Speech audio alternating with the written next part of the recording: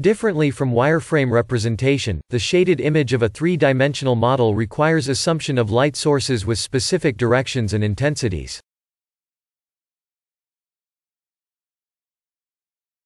Contour images are also rendered based on the same assumptions of light sources.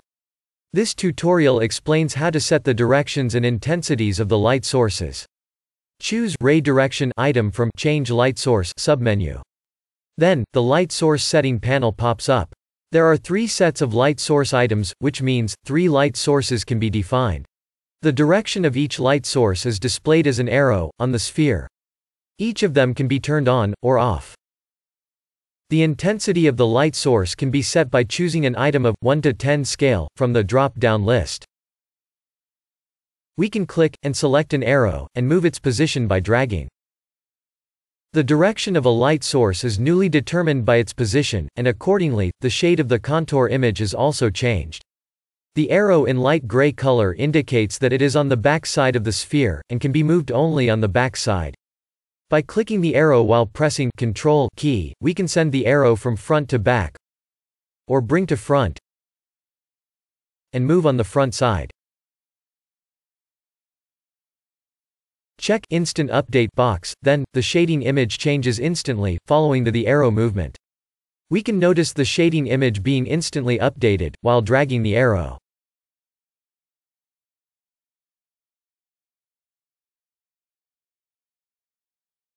If we rotate the view direction, using the virtual trackball, the light source arrows also rotates, in accordance with, rotation of the model view. This implies that the light directions are defined in the model coordinates. If we check relative to view direction item, the arrows do not rotate, while the model view is being rotated.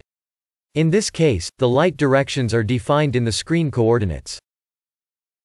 We can easily notice the difference of shading updates, between the cases with, and without checking, relative to view direction box.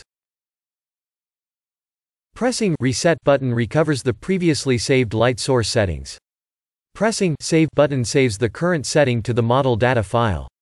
The light sources can be defined independently for each model file as demonstrated so far.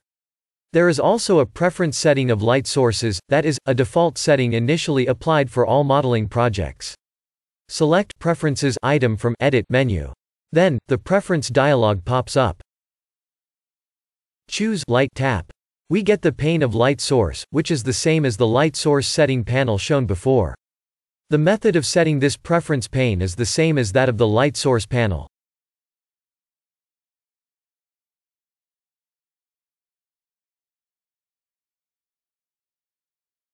However, this preference setting is applied for all modeling projects in the future.